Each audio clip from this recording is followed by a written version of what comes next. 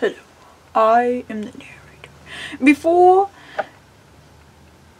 this episode starts, George will be talking about a very unique cactus.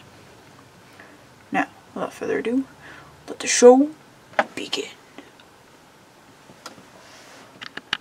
Good morning, everybody. My name is George. George. And today we're going to be talking about the Pelecyphora aselliformis.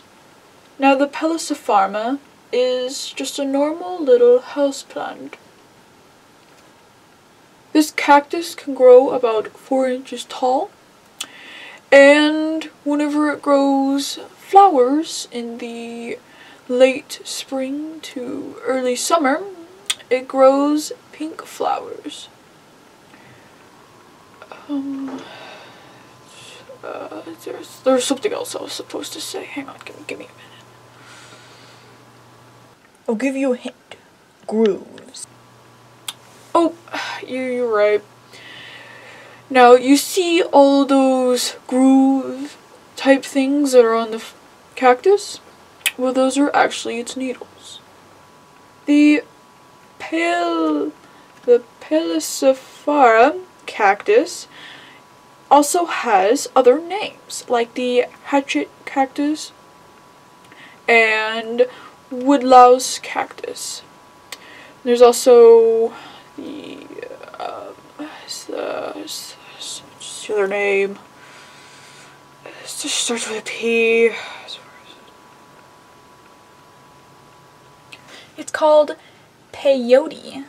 You know, you pay the coyote. Yes, the peyote.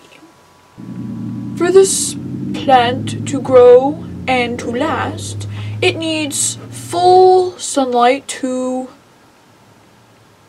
um uh to partial shade. Partial shade. Now this plant um, also does not need a lot of water either. The hatchet cactus is a plant that likes to stay in cool weather. The Pelecyphora is a plant that grows a flower or two every year. And the needles on this cactus are called what were they called? Hmm. Typical. Oh, yes, thank you. They're called typicals. The typicals are actually where this plant stores water as well.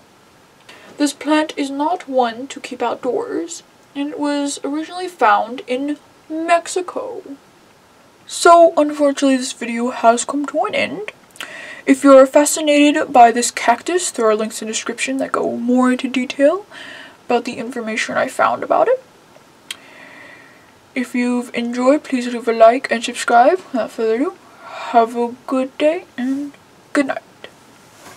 This is the end of the video, end of the video, end of the video. Pew pew. End of the video, end of the video. Do this is the end of the video. Pew pew. Pew pew. Pew pew. Of the video, of the video, of the video. Oh oh.